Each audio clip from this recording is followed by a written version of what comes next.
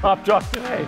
Movie database website, IMDb. You ever Google that, you know, see who's in a movie or whatever? Uh, apparently, they're going to have to remove the age of some actors under a new law in California. That's right. So the law forces subscription websites used by casting services to remove age information if asked. So the Screen Actors Guild says it will prevent age discrimination for actors who wish to keep their age private. Wow. Hmm. What do you guys think? You know, I was looking somebody up the other day and I noticed that it just said born whatever, Riverside, mm -hmm. California. Yeah. There was no associated birthday, which struck me as odd. Never seen that before, but I wonder if that has anything to do with this. Quite possibly. And you know, stars that get to a certain age, they start lying about their age, mm -hmm. we're told mm-hmm. anyway. They get stuck at like 37 mm -hmm. right. for a long time. I'm 29.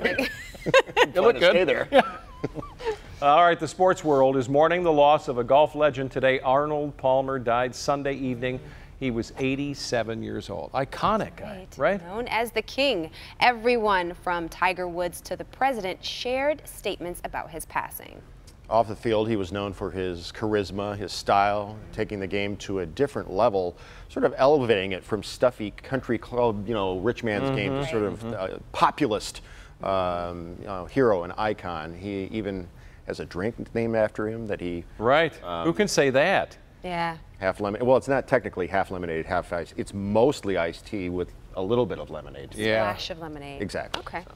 You ever been with somebody who actually knows the difference and they'll say that to a waitress and they'll be like, I don't know what you're talking about. I just thought it was half and half. You know, they're a purist.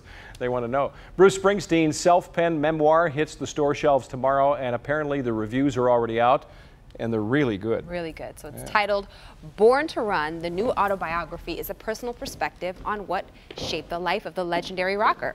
In the book, he talks about seeing Elvis Presley on the Ed Sullivan Show and how it changed his life. He also talks about life offstage and the struggles he's had with depression. Hmm. Many say even if you aren't a fan of the boss, the book is well worth the read.